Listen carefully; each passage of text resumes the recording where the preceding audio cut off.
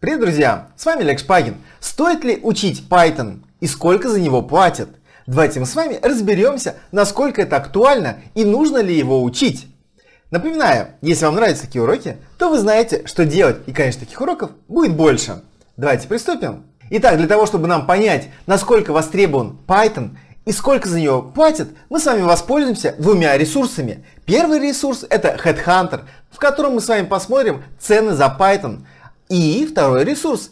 Это, конечно, видео с YouTube канала от Data is Beautiful, где приводится как раз рейтинг языков программирования. Смотрите, Python находится по популярности в 2019 году в третьем квартале на первом месте. Потом идет JavaScript, потом идет Java. То есть, в принципе, исходя из этого ролика и анализа этих данных можно понять, что Python в принципе довольно популярный язык программирования.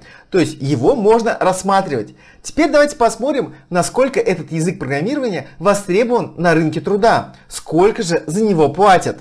Переходим на сайт Headhunter и пишем разработчик Python. Итак, смотрите, у нас с вами 1503 вакансии разработчик Python. Так, давайте посмотрим на цены. Программист-разработчик Python Middle 100-180 тысяч. Ну, в принципе, довольно неплохо. Team Lead, начальник отдела разработки Python, без цены. Ну, довольно, думаю, высокая. Потому что Team Lead выше, чем разработчик-то. Так. Листаем ниже. Разработчик Python от 160 тысяч рублей. Классно. Python разработчик 150-220 тысяч рублей.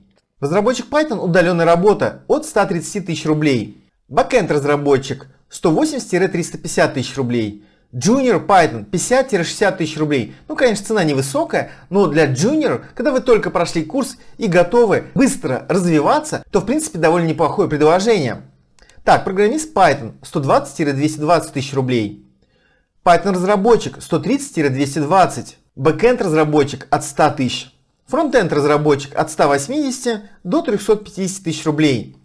Python разработчик Django 60 тысяч 150 тысяч. Это, видимо, junior позиция, а это у нас с вами middle позиция. Senior Python разработчик, как раз подтверждение, да, 180 тысяч-220 тысяч рублей. То есть это, в принципе, нормальная цена для senior Python разработчика. Классно. Исходя из цен на вакансии и, в принципе, востребованности языка Python, я, в принципе, считаю, что Python достоин изучения. Если вы считаете так же, напишите это в комментарии, если вы с этим не согласны и хотите предложить другой язык для изучения, который приносит больше денег, тоже пишите об этом в комментариях. Мы вместе с вами его посмотрим и, возможно, даже запустим по нему серию уроков.